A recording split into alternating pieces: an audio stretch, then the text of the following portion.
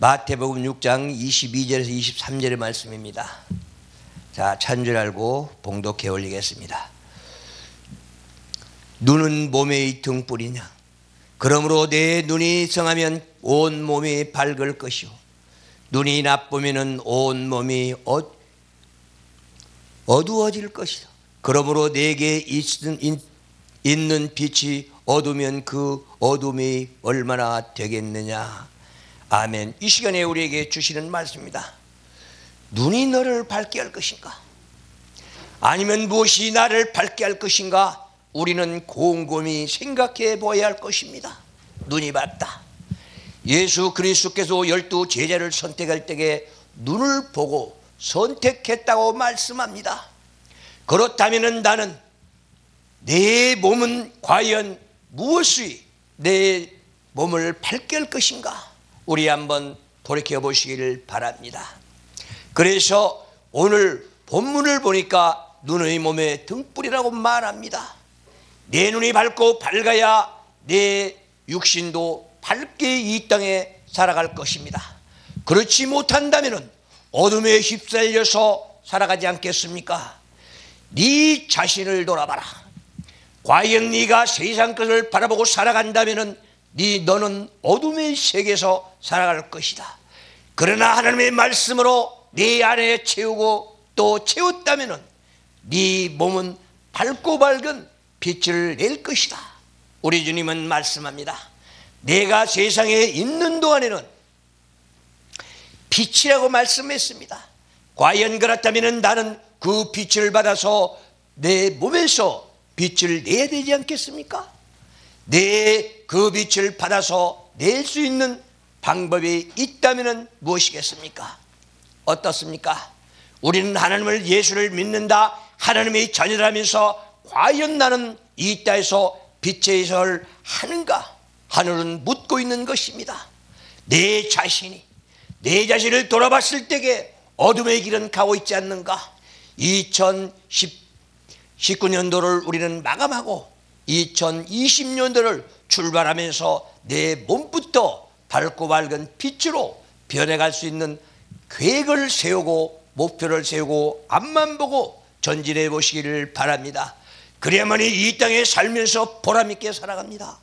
이 땅에 살면서 꿈이 있다면 나는 열심히 부지런히 최선을 다해 살아갈 것입니다. 그래야만이 나의 몸은 밝고 밝은 빛이 될 것입니다. 네 무엇이 네 몸을 밝게 할 것인가? 네 눈이 우리를 밝게 할 것인가? 내 자신을 밝게 할 것인가? 그 빛이 내 몸에 들어오고 있는가? 내 눈이 밝아지기 위해서는 그 빛이 들어와야 된다는 것입니다. 예수 그리스도의 밝고 밝은 빛입니다. 그것이 바로 무엇입니까? 성서 한 구절 한 구절이 내 몸에 들어온다면 내 몸은 밝고 밝은 빛으로 변해서 어둠을 물리칠 것입니다. 그래서 내 의가 내 몸을 밝게 줄 것입니다. 우리는 하나님의 의 가지고 살아가야 됩니다. 우리는 육신의 눈으로 바라보고 육신의 생각만 가지고 살아간다면 나는 어리석음에 쌓여서 어둠에 우리는 앞잡이가 되고 어둠과 함께하다가 지옥으로 가지 않겠습니까? 어떻습니까? 내가 내 자신을 밝고 밝게 비춘다면 그 빛을 받아서 이 땅에 밝은 빛을 비춰준다면 그 빛은 어둠을 몰아내고 이 땅에서 축복 속에서 살아갈 것입니다. 우리는 가난합니까? 왜 가난합니까? 하늘문을 여십시오. 오직 시편 37편 5절을 보십시오. 하나님을 여호와를 기뻐하라. 너의 꿈을 이루어준다고 말씀했습니다. 그런데 과연 우리는 내 멋대로 살기 때문에 하늘의 빛을 바라보지 못하고 이 땅에 살아가기 때문에 어렵고 힘들고 고달프게 살아간다는 것입니다. 이제는 땅의 것 서서히 버리고 하늘의 것을 추구하십시오. 그래서 우리는 버리는 종교입니다. 그래서 불가에서는 해탈하라 해탈하라 하는데 우리 모두 다 마찬가지입니다. 우리 성도들이요 이제는 세상 것 하나하나 버리고 하늘의 것을 차지하십시오. 이것이 바로 기독교의 핵심입니다. 내가 이 땅을 가져가고 갈 때는 오직 내 이름 석자 가지고 가는데 이 땅의 모든 것을 쌓기 위해서 온갖 범죄는 다 하고 살아갑니다. 그 범죄가 하나하나 아버지께 맡기는 것이 바로 내 마음을 깨끗하게 하고 내가 빛을 받아서 빛을 발할 수 있는 것 아니겠습니까? 내 안에 악과 독과 죄가 쌓여 있다면 빛이 나오겠습니까? 성령이 내 몸에 들어오겠습니까? 우리는 성령 받았다, 성령 받았다면서 내 안에 독과 죄만 가득히 쌓아놓고 성령을 바라고 있습니다. 성령은 거룩한 영입니다. 깨끗한 영입니다. 더러운 곳에는 안 들어갑니다. 우리 마음이 지저분한데 어찌 성령이 들어가겠습니까? 우리는 성령 받았다, 성령 받았다면서 내 몸도 더럽고 추한 것을 우리는 생각하지 않습니다. 이제는 내 몸부터 바르게 정리하기 바랍니다. 그러므로써 내 의가 내 몸을 밝게 해준다면 하나님의 말씀 한 말씀 한 말씀이 내 몸에 들어와서 내 육체를 밝혀줄 것입니다. 내 몸에는 얼마나 하나님의 말씀이 들어와 있습니까? 나는 얼마나 아버지와 연결하며 살아갑니까? 나는 찬양으로서 아버지 와서 얼마나 영화롭게 합니까? 내 자신은 얼마나 깨끗합니까? 내 자신은 얼마나 행복을 누리며 살아갑니까? 우리는 이 땅에서 살면서 항상 내 자신을 돌아보고 또 돌아보고 내 자신을 정리해 정돈하고 내가 쌓았던 것 하나하나 버려가면서 하늘의 것을 차지하십시오. 그럼으로써 내 인격이 살아날 것입니다. 그렇다면 나는 생명을 사모하는 자가 될 것입니다. 하나님의 말씀이 들어오고 내 안에 성령이 있다면 내가 하나님을 사모하고 하늘을 우러러보고 내 목표가 분명히 있고 우리는 내세를 향하여 달려갈 것입니다. 그래서 이제부터는 우리들이 선한 얘기로 살아가시 바랍니다. 내 행동 하나하나가 선을 추가며 살아가십시오. 내 하나하나가 다 행위 하나가 나갔다 선으로 따라가지 않는다면 나는 어둠 속에서 파묻혀 살아가고 말 것입니다. 어떻습니까? 선한 행동합니까? 아니면 나는 유야무야 살아갑니까? 나는 이 땅에서 악만 품으면서 살아갑니까? 나는 사탄 마귀들의 이끌려서 독을 품으면서 살아가는 건 아닌가? 돌아보시기 바랍니다. 우리 주님께서 말씀합니다. 내 이웃을 내 몸과 같이 사랑하라. 그런데 내 이웃도 사랑하지 못하면서 보이지 않는 천부를 어떻게 믿고 따라가겠는가? 우리는 입술로만 해서는 안 된다는 것 아니겠습니까? 그래서 우리 주변에는 각종 그 무엇이 나를 어둡게 하고 있는가? 어둠에 세력돼서 내가 잡혀 있는 것 아닌가 하는 것입니다. 그래서 무엇보다도 내가 하나님의 말씀으로 이 땅에서 내 몸을 밝혀준다면 나는 하루하루가 즐겁고 행복으로 가득 찰 것입니다. 어떻습니까? 지금 내 마음은 왜 우리 여기 계신 여러분들은 다 행복을 누리고 살아갑니까? 우리는 파라다이스에서 살아갑니까? 아버지 하나님께서는 이 땅을 만들었을 때에 얼마나 화려하게 만들었습니까? 하나 만들어 놓고 아 심이 좋았더라. 한 사람 만들어 놓고 사람을 만들어 놓고도 아 심이 좋았더라 했는데 우리 인간들이 하나하나를 이 생태계를 파괴하고 살아온 아니었습니까? 우리는 이제부터는 밝고 밝은 생살하기를 바랍니다. 그렇다면 내 몸을 무엇이 나를 어둡게 하는가? 내 죄가 내 몸을 어둡게 하는가? 내 죄가 나를 어둡게 한다면 이제부터는 그 죄를 아버지께 맡기고 이제는 하나님의 말씀으로 채우십시오. 그것이 바로 내 몸을 더럽고 추하게 추악하게 한 그런 죄를 우리는 버려야 됩니다. 우리는 내가 죄를 가지고서 살면서 내가 하나님을 믿는다. 나는 하나님의 자녀라 합니다. 우리 죄가 무엇입니까? 우리는 이 땅에서 보이지 않는 아버지를 보면서 살아가면서 내가 이 땅에 죄만 가지고 말하고 있습니다. 그러나 진정한 하나님의 우리는 내 영적인 죄는 무엇입니까? 내 영의 죄는 오직 아버지 하나님을 모르는 죄가 제일 큰 죄입니다. 그래서 성서 66권 한 구절 한 구절을 우리는 가슴에 쌓고 쌓아야 진정한 내 죄가 무엇인지 드러날 것입니다. 우리는 아버지 앞에 섰을 때 어떻게 우리는 변명할 것입니까? 나는 과연 이 땅에서 어떻게 살아왔는가 아버지께서 물으신다면 나는 뭐라고 말씀하겠습니까? 나는 이 땅에서 먹고 살기 위해서 온갖 가진 죄들 같이 하면서 사탄마들과 동행했다고 말하겠습니까? 아니면 정군 전사들이 나를 모시고 가서 주님 앞에 섰을 때에 나는 이렇게 아버지와 함께 하면서 말씀 속에서 정직하게 살았다고 실토하겠습니까? 우리는 아버지 앞에 섰을 때에는 우리는 변명도 할 수가 없습니다. 오직 내 입으로 내가 토설하기 때문에 또 내 영혼이 내 지었던 죄를 다 도색하기 때문에 아버지 앞에 섰을 때는 거짓이 없다는 사실 말입니다. 그리고 용서가 없습니다. 잘못된 거 있다면 우리는 지옥으로 가야 되고 잘한 거 있다면 주님 보러 가야 되는 것 아니겠습니까? 그래서 우리는 각종 내 안에 정리정돈 하라는 것입니다. 내 안에 독과과 죄가 있다면 모든 걸 버리십시오. 그리고 내 안에 노가 있다면 화가 있다면 버리십시오. 우리는 그걸 가지고 왜 갑니까? 우리 주님께서 말씀하신 것처럼 무거운 짐진 자들아 다 내게로 오라 했습니다. 그 무거운 짐이 무엇입니까? 우리 한번 또다시 생각하고 또 생각하면서 우리는 하루하루를 걸어가야 할 것입니다. 우리는 지금까지 살아왔습니다. 그리고 우리는 한 발짝 한 발짝 가는 길이 어딥니까?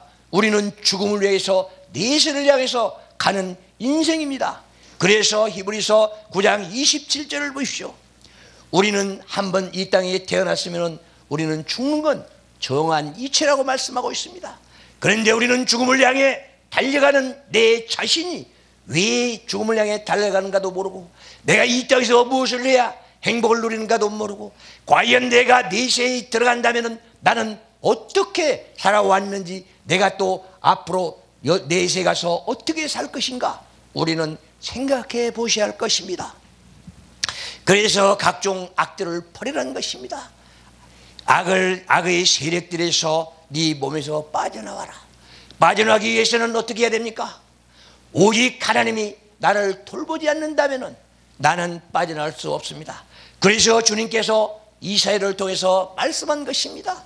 내가 너를 지명하여 불렀고 너는 내 것이라. 내가 너를 도와주리라. 내가 너를 지켜주리라. 너는 내 것이라. 너는 불 가운데 지날 때도 물 가운데 지날 때도 내가 너를 지켜주고 보호해 줄 테니까 너는 앞으로 나만 믿고 의지하며 따라 했는데 과연 나는 이 땅에서 낭망하며 살아갑니까? 내 자신을 후회하며 살아갑니까? 나는 남들과 비교하면서 내 초라함만을 생각하며 살아갑니까? 우리는 당당하게 살아갑시다. 하나님의 아들이라면 당당하게 살아야 됩니다. 그러기 위해서는 내 안에 독과 악과 죄를 다 버리라는 것입니다. 내가 왜 근심, 걱정, 고통에 쌓여 있습니까? 오직 근심, 걱정, 고통은 아버지께서 천부께서 해야 됩니다.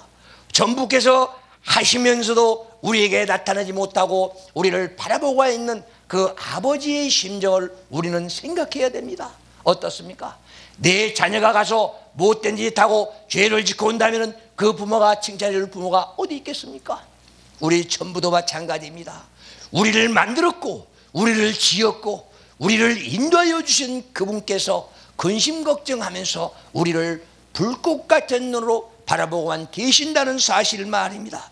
그래서 내 안에 어둠부터 몰아내야 하나님의 말씀이 들어오고 거기서 우리는 하나님과 연교가 시작되고 또 거기서 내 마음에 찬양이 시작돼서 내 마음은 정결하게 있어서 깨끗한 생 살아갈 수 있을 것입니다. 행복을 누리며 살아갈 수 있을 것입니다. 평안한 마음 가지고 살아갈 수 있을 것입니다. 오직 우리는 우리는 하루하루를 사는 것 같지만 성령의 이끌림받아 살아가는 우리 인생들이기 때문에 더욱더 복된 생 살면서도 내가 누리지 못하고 깨닫지 못하기 때문에 이런 어둠 속에서 헤매고 있는 것 아니겠습니까? 성도들이요. 이제는 어둠에서 벗어나서 오직 밝고 밝은 등불로서 내 의를 가지고 살아가기 바랍니다. 눈이 밝아야 됩니다. 오직 우리는 하나님의 말씀으로 우리는 갈고 닦고 다듬어서 우리는 영의 세계를 바라야 됩니다. 그리고 영의 눈이 떠인다면 우리는 귀가 또 벙어리가 돼서 되겠습니까? 우리는 귀머거리는 안 됩니다. 하나님의 음성을 들어야 되겠습니다. 그러기 위해서는 내 안에 깨끗이 소리하고 오직 성령을 받아서 성령의 인도함 받아야만이 우리는 될 수 있는 줄 믿습니다. 우리는 목회자들을 그렇습니다. 성령 받아라, 성령 받아라 합니다. 그렇다면 그 성령은 누가 줍니까? 목회자 줍니까? 우리는 아버지 하나님께서 성령을 주시는데 내 몸이 깨끗하지 못한다면 성령은 온데간데 없을 것입니다. 그래서 마귀들과 멀리하라. 마귀들을 분별하라. 오직 성령과 우리 악령들의 분별할 줄 나는 변별력이 있어야 됩니다. 그것을 받기 위해서는 성령 받지 않으면 분별하기 힘듭니다. 그래서 우리는 내 악한 세력들과 어둠의 세력들과 불의와 불법에서 벗어나야만이 의의 길로 가고 내 눈이 밝아지고 내 귀가 열려져서 내 마음문을 열고 주님을 모시고 살 것입니다. 어떻습니까? 지금까지 잘못 살아왔다면 이제부터라도 빛을 발하십시오. 빛을 구하십시오. 그리고 어둠을 몰아내십시오. 빛이 오면 어둠은 물러갑니다. 그런데 우리는 빛을 받은다 받은다면서 어둠을 안고 살아간다는 사실을 우리는 기억해야 됩니다. 우리 우리 이 주변을 보십시오. 얼마나 악령에 잡혀서 살아가는지 말입니다. 그러면서도 내가 왜 악령에 잡혔는지도 모르고 유야무야 살아가고 있는 것이 얼마나 많습니까? 그래서 우리 주님께서 말씀합니다. 차로오르고 치치 말아라. 너는 뒤돌아보지 말아라. 오직 쟁기를 잡는 자는 뒤돌아보면 쓰러지고 넘어지고 좌절한다. 오직 가면은 누가를 통해서 그런 말씀을 했겠습니까? 그래서 우리는 오직 주님 예수의 둯대를 잡았으면 앞만 보고 전진하면서 돌아가시기를 바랍니다. 그것이 바로 나의 일생이 되어야 되고 나의 사명이 되고 목표가 되어야 할 것입니다. 그렇다면 내가 모든 죄악을 다 버리고 어둠의 세계를 벗어나서 밝고 밝은 예수의 밝은 빛을 받았다면 지금 현실은 어떤가? 네 몸에서 밝고 밝은 빛을 발할 수 있는가? 네 몸은 밝은가? 아니면 어둠에 지금도 채 있는가? 내가 내 자신을 돌아보라는 것입니다. 그렇다면 내가 내 자신을 보지 못한다면 내가 내 자신을 돌이키지 않는다면 내가 내 자신을 보지 못한다면 나는 발전도 없고 항상 어둠의 세계에서 어둠의 그늘에서 살다가 바로 갈 것입니다. 그래서 오늘 또 하늘은 묻습니다. 너는 어느 경점에 서 있는가? 너는 지금 어디까지 달려왔는가? 아버지 하나님께서 이 땅에서 내가 필요 없다면 오늘 밤이라도 네 영혼만 뽑아간다면 네 육신은 싸늘한 시체로 변한다. 그렇다면 내 영혼은 어디 갈 것입니까? 아버지 하나님께서 근심 걱정 고통 근심 걱정하고 계시는 것이 이 시점 아니겠습니까? 예수 그리스도께서 이 땅에 오신 목적이 바로 거기 있는 것입니다. 한 생명도 이 땅에 버리지 않고 오직 지옥으로 버리지 않고 천국 가서 같이 살자. 아버지와 함께 살자. 그러면서 이 땅에 오셨는데 우리는 이 땅에서 내 멋대로 살고 내 뜻대로 살다가 다시 예수 그리스도를 십자가에 못 박게 된다면 나는 어리석은 자라고 팔 수밖에 없는 것 아니겠습니까? 어떻습니까? 이제는 내 자신을 정리정돈하십시오. 그리고 밝고 밝은 생 살아가십시오. 그리고 이 땅에서 영원한 영생을 위해서 한 발짝 한 발짝 나가는 우리가 되어야 할 것입니다. 어떻습니까? 내 몸이 밝아서 이 땅에 쉬지 않고 열심히 살고 있는가? 나는 이 땅에 살면서 행복을 누리고 살아가는가? 이제부터는 어둠 속에 살았다면 어둠에서 벗어나서 행복을 누리십시오. 그리고 밝고 밝은 빛을 발해서 어둠을 물리치고 예수 그리스도를 한 발짝 한 발짝 따라가면서 더 행복을 누리면서 살아가기를 바랍니다. 이것이 아버지의 뜻인 줄 믿습니다. 그래서 어둠의 세계, 우리는 생명을 삼는 자들이 되고 오직 사람들이 무엇이 간데 우리는 하나님께서 이렇게 우리를 보호하시고 인도하시는가 다시 한번 생각하시기 바랍니다. 그래서 이 땅도 내 천국이 있고 또 영원한 세계에서도 천국에 가서 주님과 동행하는 생 살아가기를 바랍니다. 이것이야말로 우리들의 행복을 나누는 길이기 때문에 항상 복된 생 살아가기를 바라면서 다 같이 기도하겠습니다.